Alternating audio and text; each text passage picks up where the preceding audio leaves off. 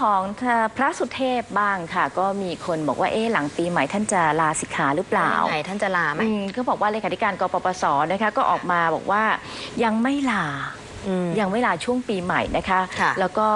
ตอนนี้ก็มีข่าวว่าจะมาเป็นประธานทางด้านมูลนิธิมวลมหาประชาชนด้วยก็ยังไม่เอาใช่ยังไงกันแน่นะคะเรื่องนี้ก็มีคำตอบจากทางคุณค่ะเอกนัทพร้อมพันธ์นะคะ ซึ่งก็บอกว่าตามที่มีข่าวว่าพระสุเทพประภากโรจะลาสิกขาบทในช่วงปีหลังปีใหม่ เพื่อมาทำหน้าที่ประธานมูลนิธิมวลมหาประชาชน เพื่อการปฏิรูปประเทศไทยนั้น ล่าสุดคุณเอกเอกนัทพร้อมพันธ์นะคะโฆษกกปปสก็ยืนยันว่า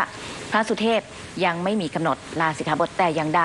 แต่กระแสข่าวกระแสข่าวที่ออกมาก็เป็นความเข้าใจที่คลาดเคลื่อน เพราะก่อนหน้านี้มีผู้สื่อข่าวมาสอบถามว่าพระสุเทพจะลาสิกขาบทเมื่อใด แล้วก็พระสุเทพก็ได้ตอบผู้สื่อข่าวกลับไปว่ายังไม่มีกำหนด และหากจะมีการลาสิกขาบทอย่างเป็นทางการก็คงจะเร็วที่สุดหลังช่วงปีใหม่ เพราะในปีนี้พระสุเทพมีกำหนดเป็นพระพี่เลี้ยง ในพิธีอุปสมบทหมู่ในเดือนพฤศจิกายนและธันวาคม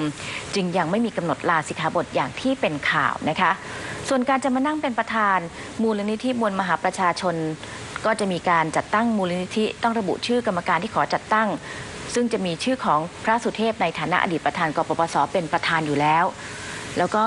มูลนิธิมวลมหาประชาชน มีแกนนำกปปสที่ลาออกจากตำแหน่งในพรรคประชาธิปัตย์ประกอบด้วย นายชัยวุฒิบรรณวัฒน์นายพุทธิพงศ์ปุณกันนายอิสระสมชัย นายชุมพลจุนใสนายสกลทีพัทยกุล นายถาวรเสนเนียม นายสาธิตวงหนองเตย นายนัทพลทีพสุวรรณนายวิทยาแก้วพราไดยนางสาวจิตพัฒน์กิดากรนะคะมาเป็นผู้ดูแลค่ะ ส่วนคุณเอกนัทก็เป็นเลขาธิการมูลนิธิไปนะคะค่ะ